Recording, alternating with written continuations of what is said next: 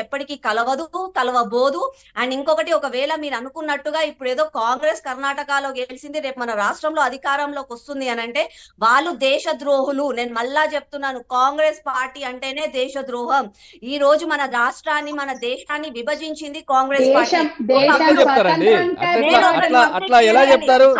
భారతదేశాన్ని కులం పేరు. మతం పేరు పైన ఇక్కడ ఒక ఇక్కడ ఒక దేశం ఇక్కడ ఒక దేశం లేదు, లేదు. చేసింది కాంగ్రెస్ పార్టీ. లేదు శ్రీవాణి గారు ఒక్క నిమిషం మీరు శ్రీవాణి గారు శ్రీవాణి గారు వన్ మినిట్ శ్రీవాణి గారు శ్రీవాణి గారు ఒక్క నిమిషం.